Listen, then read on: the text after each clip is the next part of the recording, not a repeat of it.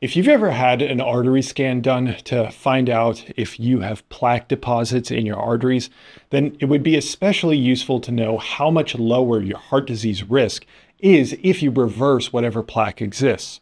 I mean, we've discussed a number of times how reversing plaque buildup in our arteries can occur, so why not translate that to actual reduced heart attack risk?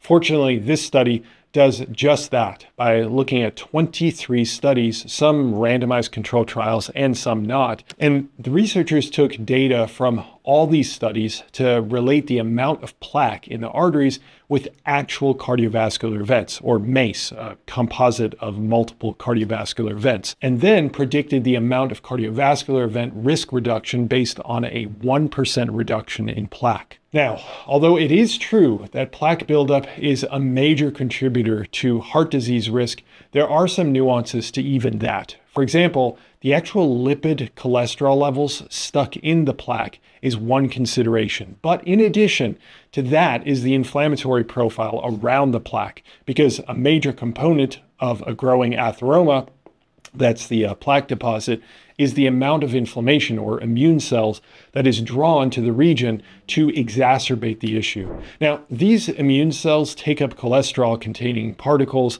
as well as deal with cholesterol molecules directly, but can get overburdened and die off inside the atheroma. This forms a necrotic core that is highly inflammatory as more immune cells are drawn to that region and the plaque continues to grow. In addition, this necrotic core destabilizes the atheroma, making it more dangerous as pieces can dislodge and lodge themselves in finer blood vessels, causing serious complications like stroke. And as a final piece, the thickness of the cap that cells place on top of the plaque can distinguish the risk, as a thinner fibrotic cap is more prone to breaking than a thicker cap. Now, I mention all that because while the researchers are measuring plaque volume, it doesn't necessarily take into account some of the other factors that may be different for you. However, this gives an excellent average idea of our reduced risk. So, what did they find?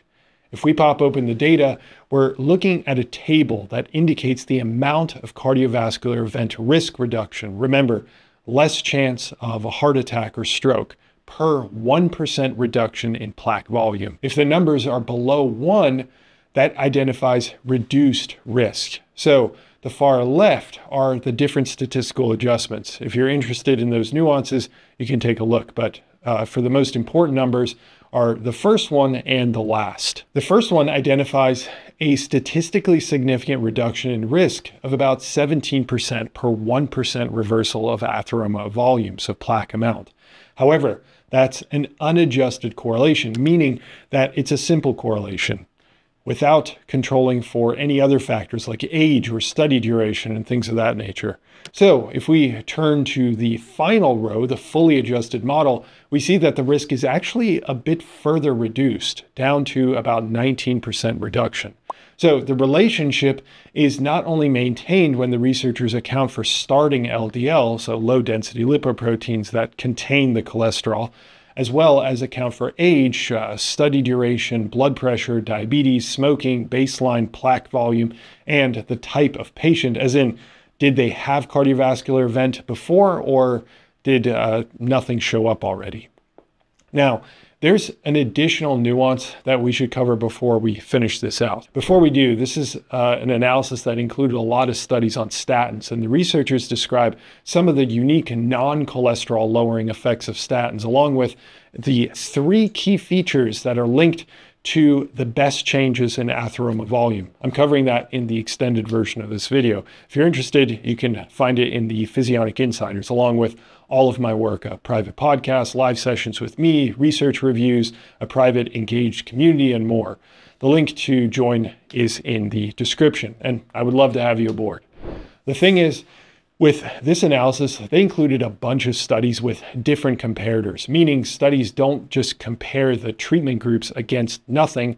Typically, they compare against a control group that is either given a placebo, an inert fake treatment, or in this case, some of the studies Actually, many of the studies compared against low dose statins and other lipid lowering drugs. The reason that's a bad thing, or also a good thing, as we'll see, is because the delta or the amount of clinical difference between the main treatment group and the control group is going to range from a big difference if the control group is given nothing to a smaller difference if the control group is given a similar treatment, just at a lower dose. That muddies the calculations.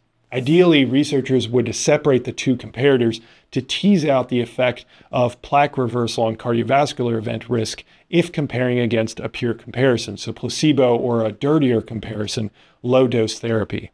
Unfortunately, that also requires a lot more data. But the good news here is that because we have mixed comparators, the real effect may very well be greater than 19% reduced risk per 1% reduction in atheroma volume. In the end, where does that leave us? This study indicates that if you were to test your arterial plaque and then reliably test it again and notice a 1% reduction in your plaque, you would be estimated to have reduced your cardiovascular disease event risk, like heart attack, by around 19%.